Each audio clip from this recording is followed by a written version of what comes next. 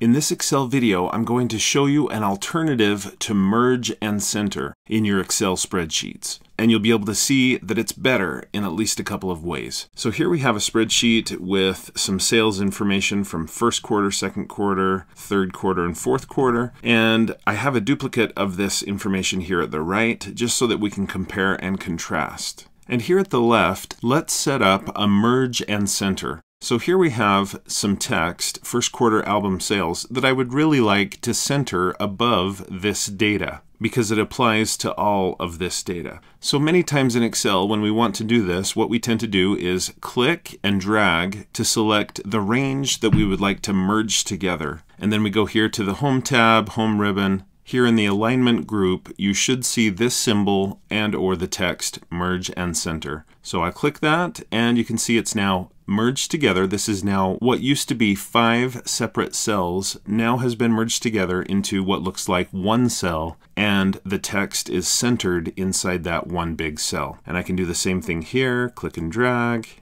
merge and center, and so on.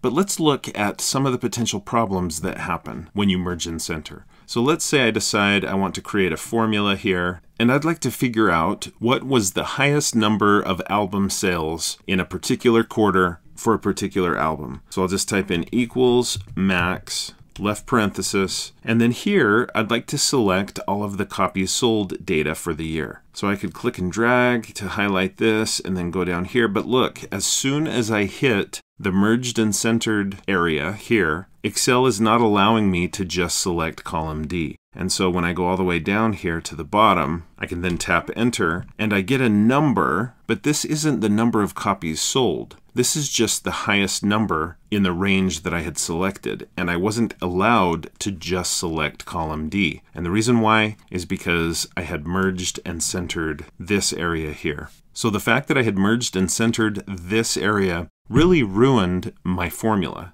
it caused some serious problems for this formula. It made it so I couldn't get the information that I wanted easily. Another example, as you may already know, when you click and drag to select a range, you get some automatic calculations down here at the bottom of your Excel screen. So for example, I can just quickly see that there's 11 records selected. The smallest number in that range is 15. The biggest number in that range is 132. And the sum of all of those numbers is 661. So that's some great automatic calculations that have been done in Excel. But look what happens when I click and drag across a merged area. Same problem as we had with the formula, right?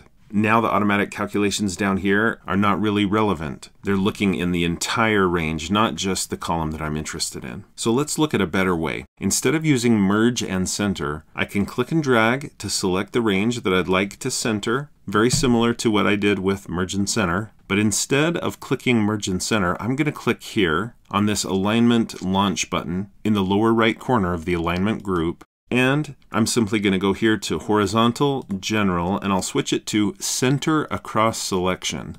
Click that, click OK, and look what happens. It looks identical to merge and center. But with center across selection, look, I still have my separate cells, and so it's not going to interfere with my formulas or calculations or anything else. Let's do the same thing here. Click and drag to select the range. Now this time, instead of going up here to the alignment group and clicking the launch button, I want to show you a shortcut. You can just hold the control key and tap the number one, and it brings up the same format cells dialog box. And again here, I'll just switch to center across selection, okay, and it worked beautifully. Give me a second to do the same thing with these other two quarters, and then I'll resume the video.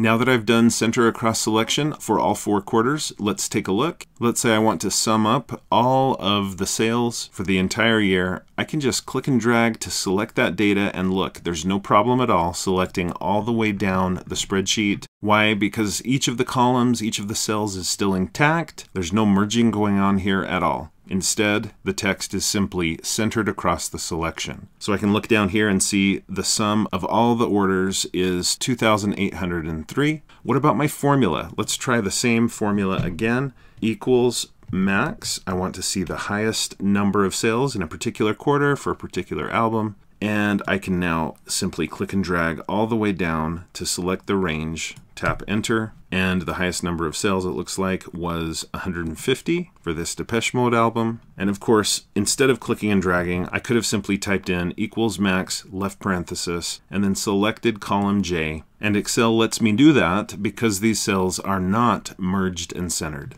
I can now tap enter so I hope that you'll consider using center over selection instead of merge and center. Now it's still important to be aware of merge and center, to know how it works, to know where it's found. For one reason, because sometimes you're using other people's spreadsheets. So even if you have decided to always use center across selection for some very valid reasons, you're going to be using spreadsheets in most cases that other people have created as well. And if they've done a merge and center and you want to turn it off, you need to be aware of it. You need to know how to select the merge area, go to the Home tab, Home ribbon in the Alignment group, and just deselect the Merge and Center option, and that range now returns to the typical unmerged state. And then, of course, at that point, you could switch it to Center Across Selection.